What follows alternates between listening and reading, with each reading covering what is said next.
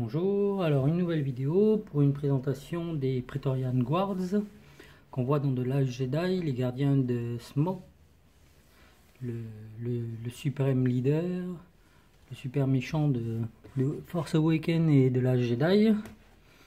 Donc euh, là j'ai un pack avec les deux types, les deux modèles des Praetorian Guards. Donc euh, c'est un, double pack. Donc voilà à peu près la boîte.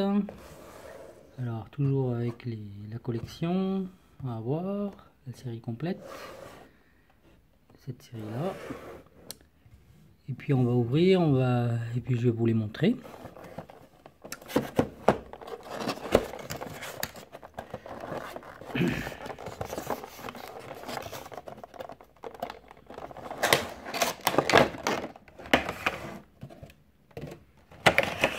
Alors, on a les deux principes les deux gardes différents.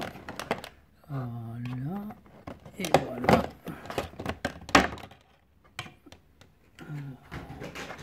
Deux modèles. Le modèle avec une espèce d'épée fouet ici, avec son casque standard, un peu comme des les samouraïs. Et puis l'autre avec le que j'aime particulièrement avec son home euh, vraiment génial et les doubles les deux, deux espèces d'épées euh, demi lance. Voilà les personnages.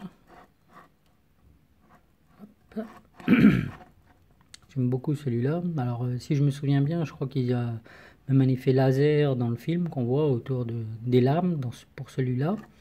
Je crois que celui-là aussi, il y a des lasers. Voilà. Voilà, les deux modèles. Donc, euh, c'est quand il y a Kiloren et Rey qui se battent et qui arrivent à... qui tuent Smog et puis les, les Praetorian Guards, les, les gardiens, quoi, en fait, de Smog, ces deux gardiens. Donc, ils sont vraiment jolis, tous les deux.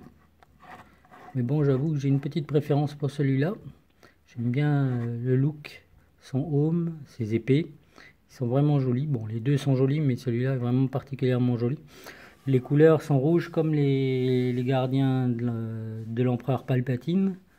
Mais ils sont plus, ils ont l'air plus méchants et plus euh, combatifs en fait, par rapport à ceux qu'on voit dans le Retour du Jedi, dans, euh, dans la première trilogie. En tout cas, les autres, on les voit jamais se battre, alors que ceux-là, ils, sont plutôt virulents ils se battent plutôt bien. Voilà, merci à vous. Allez, à la prochaine, bonne fête.